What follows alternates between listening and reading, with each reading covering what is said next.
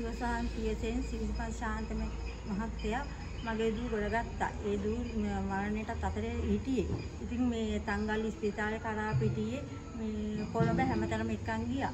පළු දාලා ඇඟ කසලා මරණයට පත් වෙන්න සක්ෂරක් තිබුණේ ඇයි ජීවිත හානියක් වෙන්න තිබුණේ. මම ඒ පාර මේ පියසහන් පියසට ගෙනල්ලා එම් මැතුමා නූලක් දාලා දෙහි කපලා ඒ දරුවා සුව කරලා දැන් තියෙන්නේ. ඉතින් මට ඒක හරි සතුටක්. ඒ මහත්තයට පින් සිද්ධ වෙන්න ඕනේ. එහෙම දෙයක් කරාට මගේ දරුවට බෙහෙත් වලින් ඇහුවේ නැහැ. බෙහෙත් කොච්චර කරත් වැඩක් නැහැ. කරන කරන හරියන්නේ නැහැ ඇඟට.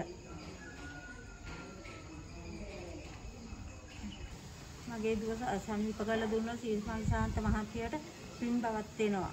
ඒ මහත්තය නිසා තමයි අපි අද මේ දරුවා ගොඩගත්තේ.